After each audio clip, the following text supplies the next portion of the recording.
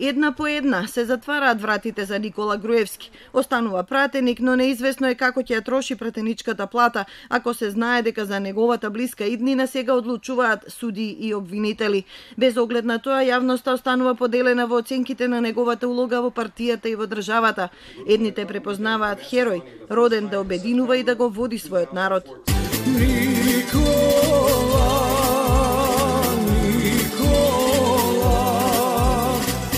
Го роди народ да води кон светла и нина.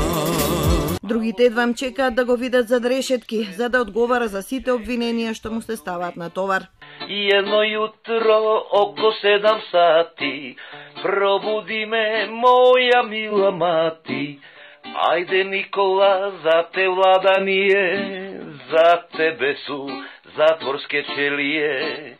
Политичката и државничка кариера на Никола Груевски опфаќа 20 на години. На крајот на минатиот век, на 28 годишна возраст, стана министер за трговија, а една година подоцна веќе прв човек во Министерството за финансии. Зад себе ги остава Балканска банка и Брокерската асоциација, што лично ја основал и председавал. Груевски важи за реформатор, воведува ДДВ, фискални сметки, кампања купувајте македонски производи, а паралелно се множат афери. За почеток, штетниот договор со ОКТА, што е чинеше македонската држава 70 милиони долари и контроверзите околу националната платежна картичка, а подоцна и други. За познавачите, изборот за лидер на Конгресот во Охрид 2003 е сосема очекуван, особено што зад него застана неприкосновениот Лјупчо Георгиевски. Ке го зачуваме единството и заедништвото на нашата партија. Македонија и идеите на ВМРО се поважни од сите меѓучовечки разлики и поделби. Лидерството не го стартуваше најсјајно, изгубени председателски едни локални избори, се обкружи со нови лица кои освен партиски му беа и лично лојални. Од старото партиско ткиво се создадоа нови партии, меѓу кои и ВМРО Народна на Лјупчо Георгиевски, што уследи потешката караница во хотелот Панорама. И покрај тоа две години подоцна Груевски ги добива наредните парламентарни избори. Потоа бележи победи на 10 изборни циклуси. Неговата партија владее неприкосновено, од локално преку централно до председателско ниво. Уште во тие први години од неговото владење, пиар тимот настојува да го прикаже како вреден млад човек што работи 24 7 за својата татковина. Човек од народот живее скромен живот, оди пешки на работа во владата, чека на семафор зелено светло, се поздравува со познатите додека силното обезбедување не се гледа. Воведе рамен данок, ја намали невработеноста од 38 на 23 одсто. Постојано инсистираше на странски инвестиции, а во тоа време македонските државјани почнаа да патуваат низ Европа без визи. ВМРО ДПМН е не е должник кон никого, освен кон оние кои му ја дадоа довербата, оние од кои произлезе за кои постои. Тоа е народот, тоа се граѓаните на Република Македонија. Неговите критичари му го демнеа секој чекор, ги ловеа неговите лапсуси. Ај ке мене дома се падна паричката и сега вртевме, вртевме тоа левот 5-6 минути и на крајот скршивме парчиња сите, падна кај мене и јас изненадив и кажам баш ми е мило. Но ѓаволот ја однесе шегата кога почнаа да пукаат бомбите на Заев.